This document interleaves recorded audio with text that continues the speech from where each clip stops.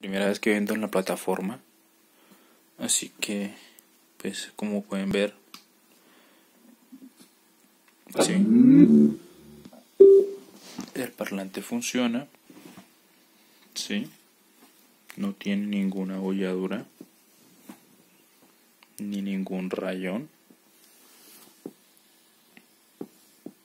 Como lo pueden observar.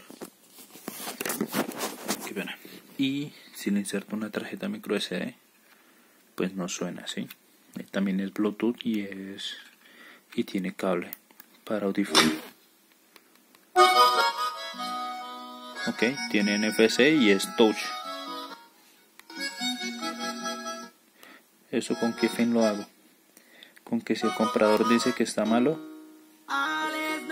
pues este es video de prueba de que el, que el parlante estaba funcionando bien sí acá cuando parpadea me permite conectar. Se ve azul sino que por el video no se nota. Y ahí selecciono el otro modo. Listo gracias